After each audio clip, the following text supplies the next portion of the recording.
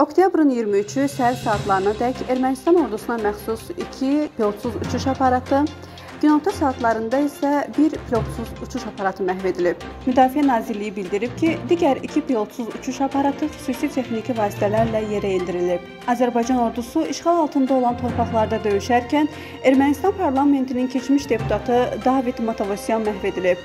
Bu barədə Ermənistan mətbuatı yayıb. Matovosyan əvvəllər Daxili İşlər İdarəsinin rəisi vəzifəsində çalışıb. Meydanı. Əsir götürülən erməni hərbiçilər Qarabağda döyüşməkdən imtina etmələrinə baxmayaraq onları cəbhəyə göndərdiklərini etiraf ediblər.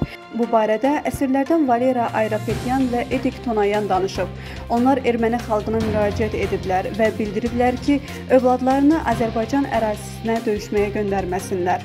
Ermənistanın hərbi qüvvələri və vasitələri darmadağın edilib. Bu barədə Müdafiə Nazirliyi video yayıb. Videoda müxtəlif mövqelərə zərbələrin endirildiyi əks olunub. Azərbaycanın milli qəhrəmanı Şükür Həmidovun adı Qubadada əbədiləşdiriləcək. Bu barədə Prezident İlham Əliyev milli qəhrəmanın atası Nəriman Həmidovla telefonla danışıb.